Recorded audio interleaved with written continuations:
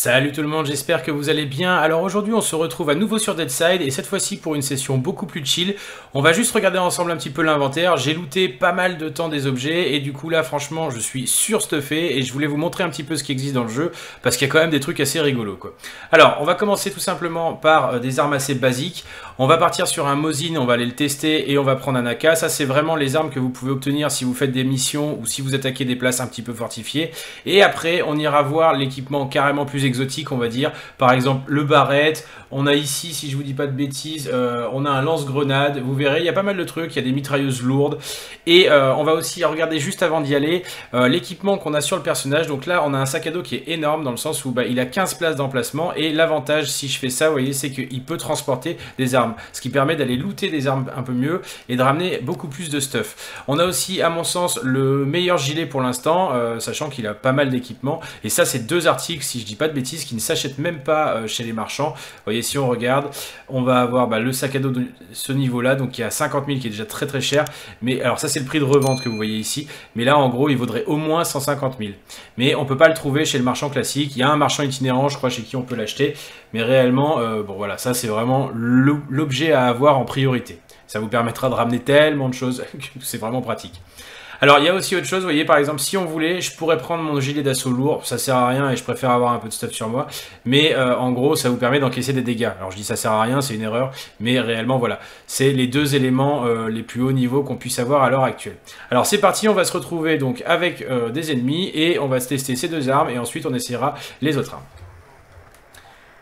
Alors, sur chacune des armes que je vais vous montrer, j'ai un viseur et honnêtement, il fait vraiment la différence quand vous avez un Mosin, bah, il suffit de retenir sa respiration et honnêtement, vous voyez, ça fait le drame tout de suite. Là, ils savent même pas où je suis parce que bah, du coup, ça fait du x8. Autant vous dire que je suis un petit peu loin d'eux. Alors, on va essayer de passer avec la K tout de suite pour vous montrer. Le Mosin, sincèrement, c'est le sniper le plus amélioré de base. Et euh, il est déjà ultime. Mais quand vous allez voir le barrette après, vous allez voir, c'est énorme. Alors, où est-ce qu'il est, notre ami Johnny Là. Il arrive par ici. Je crois qu'il veut faire le tour. Voilà. Autant vous dire que déjà, rien que celle-ci, ça plaisante pas. bon, bah, ah, il y en a un par là. Bah voilà, j'ai même pas visé correctement. Bah le pauvre, il a pris une balle dans la tête, ça, a réglé direct le problème quoi. Bon, bah du coup je vais faire un aller-retour et on va aller chercher les autres armes euh, pour vous les montrer. Bon, alors comme je vous disais, en ultra efficace, le barrette, regardez bien, le mec est ultra loin. Je l'ai shooté à travers le bâtiment. Le seul petit défaut, bon, bah, c'est qu'il faut un petit peu de temps pour recharger. Il n'a qu'une balle dans le chargeur.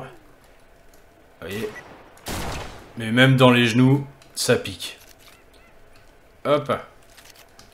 Alors, autre chose, je voulais vous montrer alors le PP2000, le bison, je sais pas comment il s'appelle dans le jeu, mais réellement c'est une arme qu'on voit un petit peu partout, et elle est quand même ultra pratique. Bah voilà, premier mec qui vient de passer. Vous voyez avec ce chargeur en espèce de tambour en dessous là, bah du coup réellement bah, ça fait le café à chaque fois quoi. Bon, je vais aller chercher cette fois-ci le lance-grenade et à mon avis ça va être assez rigolo quoi. Alors pour finir on va essayer cette mitrailleuse lourde qui est méchante franchement dans toutes les armes, bah dans tous les jeux elle est énorme. Je l'ai raté. Forcément ça le fait pas. Je sais pas pourquoi il sait pas où je suis, mais bon. L'avantage c'est qu'elle a un nombre de balles mais énorme dans le chargeur, donc elle est à 100 balles dans le chargeur. Normalement, il y en a un deuxième, je crois. J'en ai vu un autre. Mhm.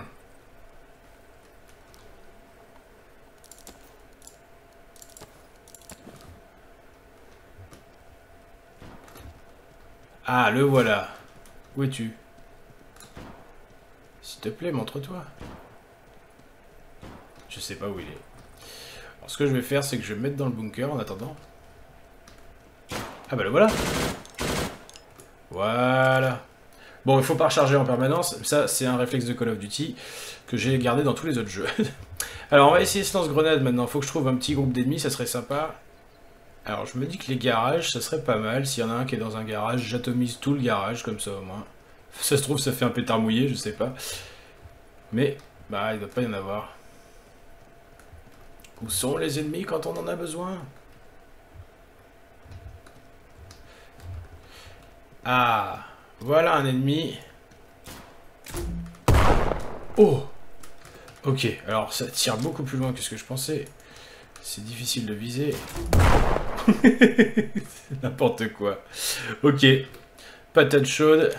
D'accord. Bon, c'est rigolo, mais c'est moins efficace que ce que je pensais, pour être honnête. Je vais essayer de rentrer un petit peu là-dedans. Des fois qu'il y en ait un autre. Coucou Les gars Ah, ils veulent pas venir.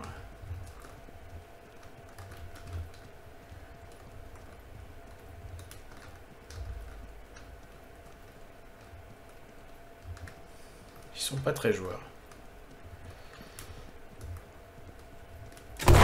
Oh là là Il m'attendait, lui.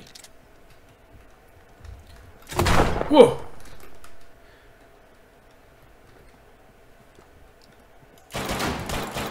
Alors à savoir, le lance-grenade ne vous fait aucun dégât, même au corps à corps. Ça reste une arme un peu pétée. Bon, je suis carrément surpris que le lance-grenade nous ait pas explosé au visage quand j'ai tiré sur les types qui étaient juste à côté de moi. Bon, après, il reste quand même sacrément efficace, et je me dis que pour le bunker, c'est pas mal d'avoir cette arme éventuellement dans son sac à dos. J'espère que cette vidéo vous aura plu, c'était vraiment juste pour vous montrer un petit peu l'arsenal présent dans le jeu. Je vous dis à très bientôt pour de nouvelles découvertes.